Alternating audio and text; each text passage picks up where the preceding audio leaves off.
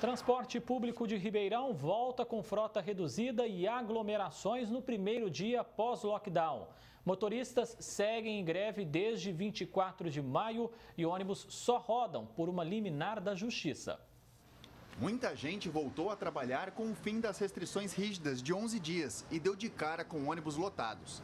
Neste vídeo, feito em um ponto no Parque São Sebastião, na Zona Leste, um coletivo aparece com muita gente em pé.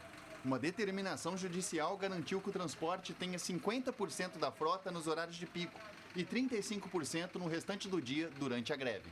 Número insuficiente para quem precisa.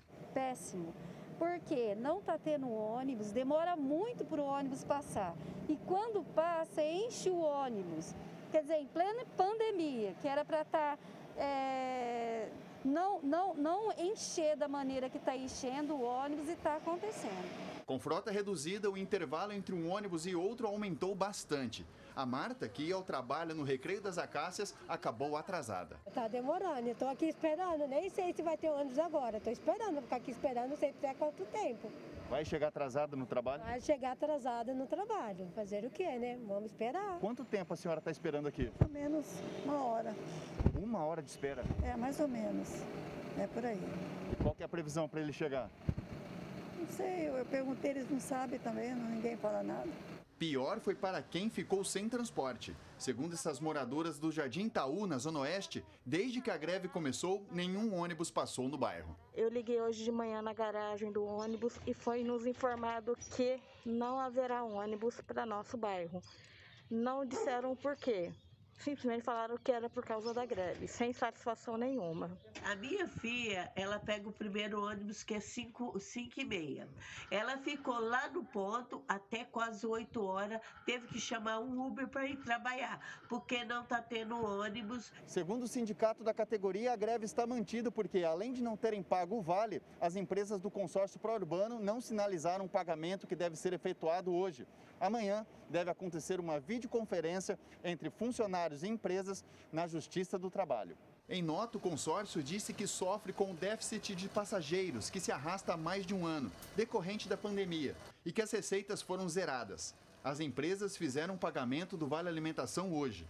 Já a Transerp afirma que, quanto à lotação dos ônibus, cumpre a determinação da Justiça de porcentagem da frota. Na semana passada, a Câmara de Ribeirão aprovou o repasse de 17 milhões para o pró-urbano, fato que revoltou a população. Os passageiros reforçam que o serviço não é de qualidade há anos, muito antes da Covid-19. Aqui já faz tempo que a gente está sem ônibus. Eles tinham dois, agora eles só correm um e olha lá. O prefeito só fica arrumando onde tem rico, só arruma para o rico. Mas a maioria que votou nele foi os pobres, não foi os ricos. Eles só arrumam onde é o lugar para o rico. O pobre fica aqui. Porque se nós estivéssemos vivendo uma outra época, mas a época agora está muito difícil tem que ter ônibus e bastante ônibus. Para quê? Para que não venha lotar. As pessoas não venham ficar uma em cima da outra da maneira que está sendo. Samuel Santos para o Jornal da Clube.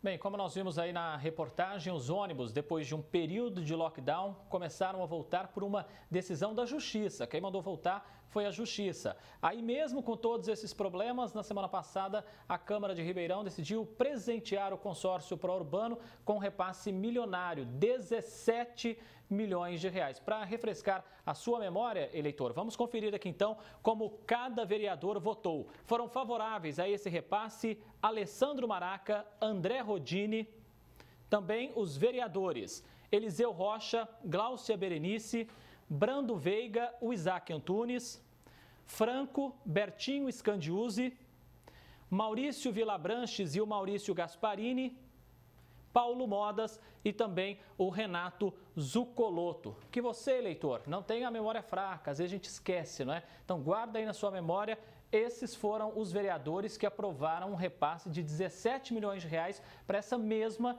empresa que trata o usuário dessa forma, manter a redução da frota e com os ônibus lotados. Cobra também desses vereadores que eles vão lá no consórcio pró-urbano e cobrem também do consórcio mais ônibus, ônibus de qualidade e sem aglomeração. Sem aglomeração principal que não pode acontecer durante a pandemia.